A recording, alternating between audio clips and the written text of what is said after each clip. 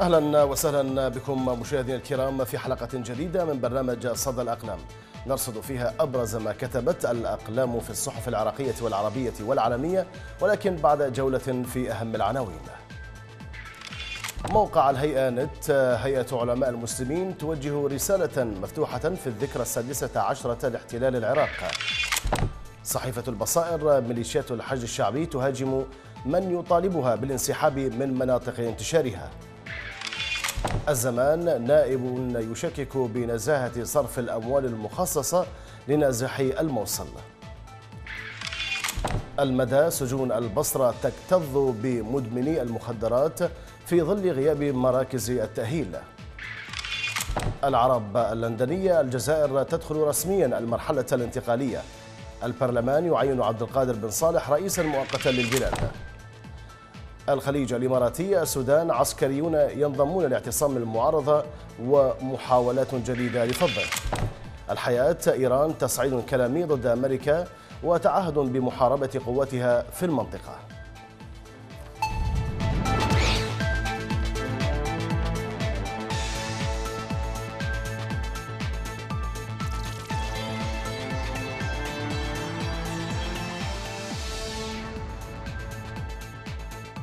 لا تختلف الذكرى السادسة عشرة للغزو الأمريكي البريطاني هذا العام عنها في السنوات السابقة بالنسبة للعراقيين لجهة استمرار ارتفاع عداد الضحايا وتفاقم الأزمات الاجتماعية والاقتصادية.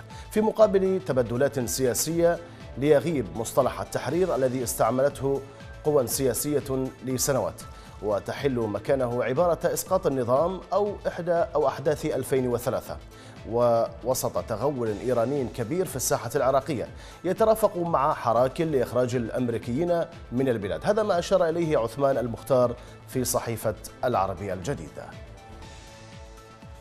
ككل عام يستمر عداد الضحايا بالارتفاع على مختلف الأصعدة. ففي بلاد مثل العراق لا يعني مصطلح الضحايا فقط القتلى أو المصابين من أعمال العنف. بل إن أرقام الأمية وتفشي المخدرات والفقر والبطالة والجريمة المنظمة ما زالت تتصاعد وسط شلل شبه تام في القطاعين الصناعي والزراعي. وفشل معلن في قطاعات الصحة والتعليم والخدمات كالكهرباء والمياه بشكل دافع إلى تفجر احتجاجات جنوبي البلاد. والى جانب استمرار ظاهرة تغول سلطة الفصائل يبرز الارتفاع المقلق في معدلات الإصابة بمرض السرطان بين سكان الجنوب خصوصا البصرة وكذلك الفلوجه غربي البلاد كأحد التحديات الجديدة التي يواجهها العراقيون.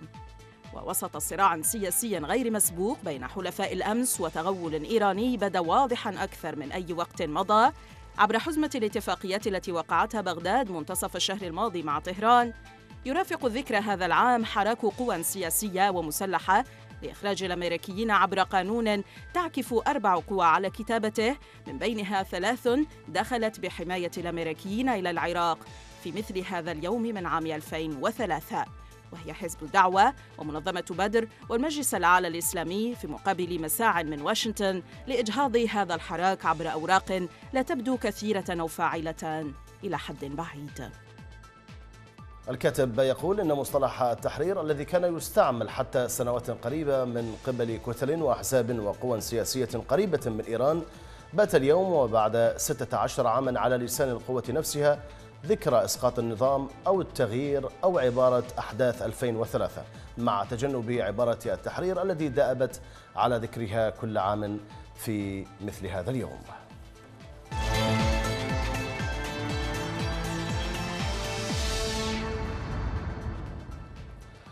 حلت يوم أمس الذكرى السادسة عشرة لغزو بغداد وخلالها عاش العراقيون نكبات وكوارث في الأرواح والثروات. رشيد الخيون يقول في صحيفة الاتحاد الإماراتية إنه حتى هذه اللحظة ليس هناك إحصاء للرؤوس التي قطفت ومن دون شك قد بلغت آلافا مؤلفة بينها أكثر من 250 إعلاميا وصحفيا وكاتبا. ناهيك عن اغتيالات مدرسي وأساتذة الجامعات. يضاف إليهم الأطباء والفنانون والحلاقون. ناهيك عن جرائم الاختطاف أما الثروات فالفساد بلا حدود. أقفلت المصانع والمزارع ولم يبقى ما يستحق الذكر من ولد في ذلك اليوم التاسع من نيسان 2003 بلغ سن الشباب. سنتان وسيشارك في الانتخابات. وعندها سيشارك في إقرار سياسة البلاد متشبعا بالخطاب الديني ترك خلالها المدرسة سنويا نحو نصف العام حيث المناسبات الدينية التي لا عد لها وجد أمامه أضرحة جديدة. توزع ذهنه بين خطباء المنابر من قصاصي الشعوذة مع واقع بائس لبلد يعد من أغنى البلدان. فتح عينيه على التحشيد المذهبي وكم من أترابه عادوا في التوابيت بدافع معارك حماية الأضرحة. قتل مقابل 500 دولار شهرياً لأنها فرصته الوحيدة.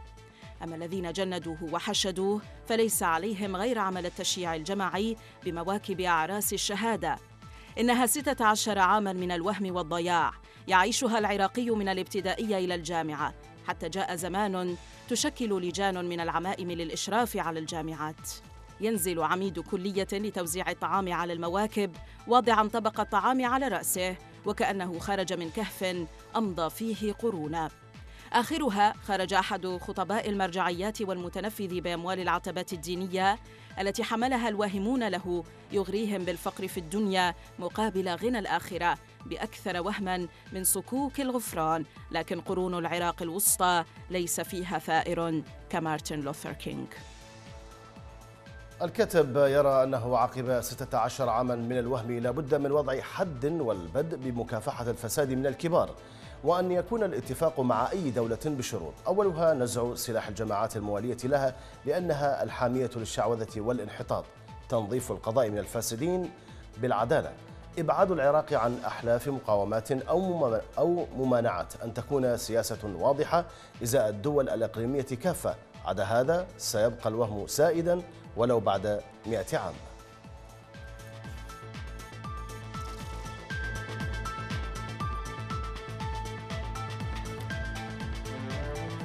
أحيت رواندا الدولة الأفريقية الأشهر عالميا على صعيد الإبادة الجماعية والتطهير العرقي في السابع من نيسان الذكرى الخامسة والعشرين لبداية الحرب الأهلية بين الأكثرية من قبائل الهوتو وأقلية قبائل التوتسي التي أدت إلى سقوط قرابة المليون قتيل. حامد الجيلاني يرى في صحيفة العرب اللندنية أنه في العراق يمكن للتجربة الرواندية أن تضع كل خبرتها القصيرة في خلاصة ردم مستنقع الانتقام. وذلك باتخاذ قرار العودة إلى الظروف والمناخات المسببة للهوس والتوحش اللذين تحولا في رواندا خلال أشهر قليلة إلى درس بليغ لشعوب العالم. بعد 16 سنة من نتائج الاحتلال الأمريكي استقرت الأقلية على مفاهيم جديدة خارج حسابات وتشوهات ولادات حكومات الاحتلال. وما نتج عنها من إبادات موثقة في خطابات زعماء الأحزاب والميليشيات والتي سبق وأن لوحت بالإرهاب كعصا ماكرة لتنفيذ مناهج الإبادة بما يؤمن لها تحشيد قوات التحالف الدولي وإطلاق سراح يد الميليشيات الإيرانية لتكون بديلاً للحرس الثوري في العراق. وتحت حماية النظام وقانون البرلمان والأهم من ذلك فتوى المرجعية المذهبية. الأقلية في العراق بعد انتهاء فصول الحرب الأهلية بإبادات وخسائر بشرية تتفوق كثيراً على ما حصدته مناجل وسواطير قبائل الهوتو في رواندا من أرواح الأبرياء. زوت في نظام سياسي أقلي بكل معنى الكلمة مقابل ما يمثله شعب العراق من أغلبية قادرة أن تقرر في لحظة حاسمة مصير العراق الوطني ومستقبله الإنساني. العراقيون منذ نيسان عام 2003 وقعوا في فخ احتلال مزدوج أطبق عليهم تماما. لذلك فإن أي نظام سياسي وطني لا يمكن أن يساوم على العراق أولاً. استجابة لما تمليه عليه ولاية الفقيه من توصيات تسيء إلى إرادته الخالصة في مصالح شعبه وكرامة مواطنيه على أرضهم أو بالخلط والإيهام واللعب بالألفاظ والمعاني لتبرير الولاء للأجنبي سواء كان هذا الأجنبي أمريكياً أو إيرانياً. وبحسب الكاتب فإنه لا دولة من دون مواجهة الحقائق والاعتراف بأن العراق ذاهب مرة أخرى إلى منزلق الصراعات بالنيابة على أرضه. دولة من دون رؤية ومشروع خاص بها وبشعبها ستظل حبيسة لمشاريع الآخرين وأجنداتهم. دولة بأكثر من ستين ميليشيا خاضعة لأوامر المرشد الإيراني في العراق معناها صراعات مسلحة وتصفيات ومناوشات واشتباكات وفتاوى دم ومداخلات لقوى واستراتيجيات دول عظمى وكبرى.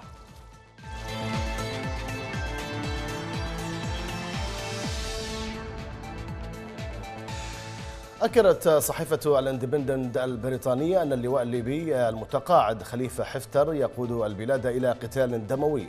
وذلك من خلال محاولته السيطرة على العاصمة طرابلس وخوضه مواجهة مع قوات الحكومة الليبية المعترف بها دوليا وهو ما سيدخل ليبيا في حلقات صراع أخرى أسوأ مما حصل في العراق وسوريا.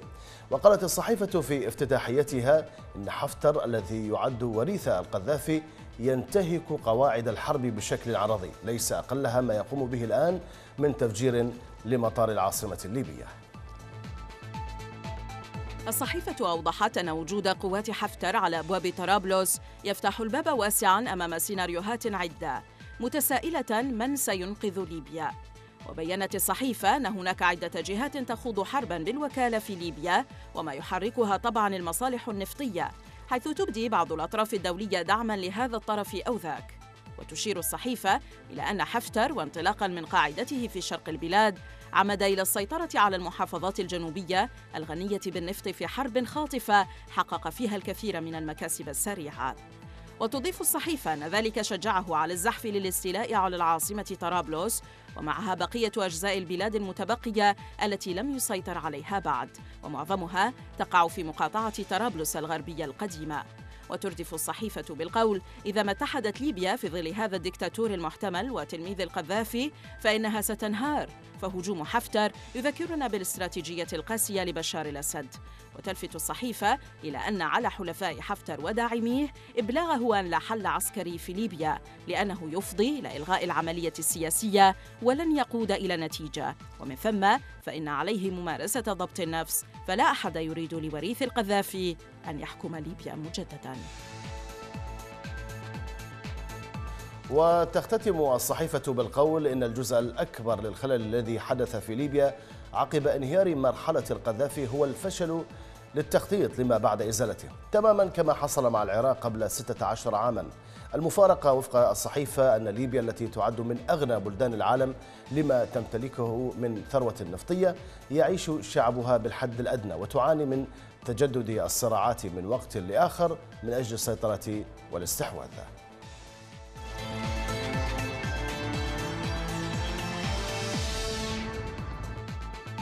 من جديد تواجه طهران صعوبة في كيفية الرد على قرارات الرئيس الأمريكي دونالد ترامب الذي لم يترك لطهران إلا خيارين لا ثالث لهما إما الجلوس على طاولة المفاوضات للبحث باتفاق نووي جديد وإما المواجهة.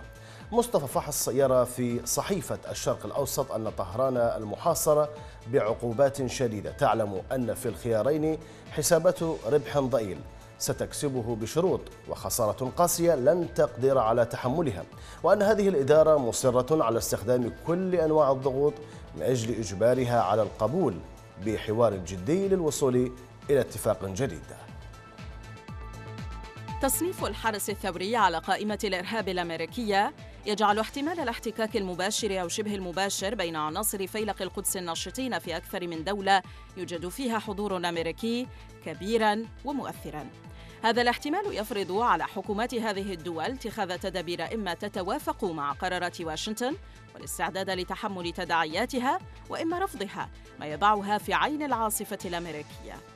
فنظام طهران الذي انتقل إلى معركة الدفاع عن النفس بات أسيرا لتركيبته التي لا تساعده على القيام بأي تنازلات تخفف عنه وطأة الحصار الأمريكي. فشرعيته التي يستمدها من فكرة العداء للغرب ستتعرض للتفكك في حال قبل بالتراجع عن بعض من مواقفه. لذلك من المرجح أن يلجأ النظام إلى خيار التشدد حفاظاً على مكاسبه ودفاعاً عن بقائه.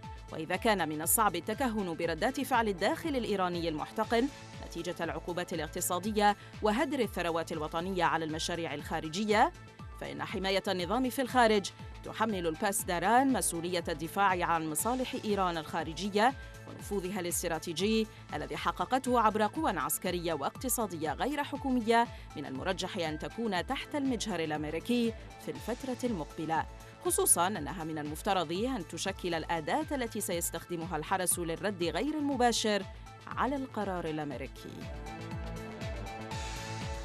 الكاتب يقول أن واشنطن أصدرت في الثامن من نيسان قرار القبض على الحرس الثوري وهو ما يتزامن مع ذكرى احتلال العراق فهل يجعل هذا التزامن في تواريخ النظام الإيراني يعيش تحت هاجز هاجز التاسع من نيسان؟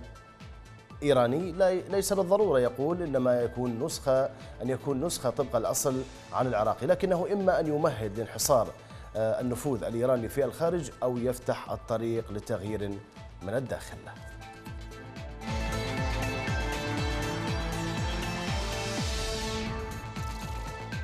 نشرت صحيفة الجارديان مقالا للأكاديمية المتخصصة في الثقافة الإيغورية في جامعة لندن. راشيل هاريس تصف فيه أحداث التكتيكات في الحرب الصينية ضد مسلمي الإيغور وتشير الكاتبة إلى أن أحد, أن أحد الناشطين قام بنشر صور أقمار صناعية لمسجد تاريخي في منطقة هوتان الجنوبية. ويعتقد أن هذا الصرح المعماري الشامخ الذي يعود تاريخه إلى عام 1237 أصبح قطعة أرض منسوحة الكاتبة تشير إلى أن المراقبين وصفوا أفعال الصين في إقليم سنجان بأنها أفعال دولة الجرافات وهو وصف صريح لما يتم من تدمير وتغيير لمعالم المنطقة وشعبها.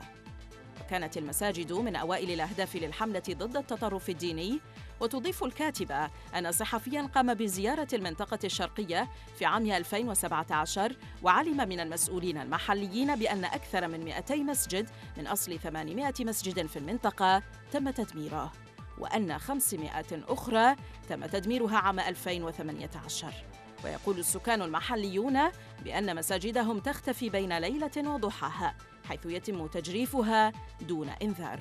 وتقول الكاتبة إن المساجد ليست هي الأهداف الوحيدة بل إن هناك مدنا كاملة تتم إعادة تصميمها لتسهيل أكبر قدر من الأمن ومراقبة السكان المحليين. وتم هدم مواقع ذات قيمة معمارية عالية مثل مدينة كاشغر التاريخية وأعيد بناؤها لمناسبة احتياجات ما تدعي الحكومة أنها صناعة سياحة رائجة في إقليم سنجان. وتلفت الكاتبة إلى أنه لا يتم تدمير البنايات التراثية فقط بل إن الجرافات تعمل على هدم المجتمعات المحلية وثقافة الناس وحياتهم. فالممارسات الدينية اليومية أصبحت تقريبا محظورة في سنجان وابتلي الناس بتكنولوجيا التجسس من حواجز وبرمجيات التعرف على الوجه ومساحات أجهزة الهاتف الخليوي بالإضافة إلى زيارات البيوت للتعرف على الأشخاص المعرضين للتطرف. وتشير الباحثة إلى أن الدول الإسلامية فشلت في شجب ما تقوم به الصين وأنها شجعت على ما تفعله ضد أقلية الإيغور في إقليم سنجان وتختتم بالقول إننا مدينون للناس الشجعان الذين يرفعون أصواتهم في وجه المضايقات المبشرة من قوات الأمن الصينية لإبقاء هذه القضية ثابتة على الأجندة الدولية.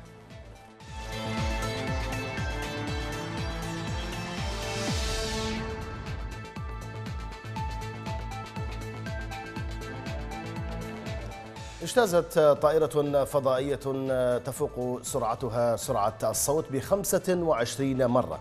اجتازت اختبارا هاما في مجال السفر الجوي حيث تتميز الطائرة بسرعة قادرة على نقل المسافرين من لندن إلى نيويورك في أقل من 60 دقيقة.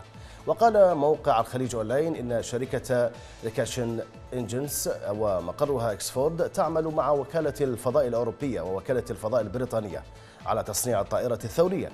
وعملت الشركة على اختبار نموذج مبرد للطائرة وهي تقنية تسمح لها بالسفر بسرعة أكبر من أي وقت مضى حيث تحتوي آلاف الأنابيب الموجودة داخل جهاز التبريد المسبق على على هليوم سائل يمكنه تبريد الهواء في أثناء اندفاعه عبرها ويعد النموذج المبرد ضروريا في تطوير الطائرات لأنه يمنع المحرك من الانصهار عن طريق خفض درجة حرارة الهواء الخاضع للضغط في المحرك من أكثر من ألف درجة مئوية إلى درجة حرارة الغرفة في أجزاء من الثانية.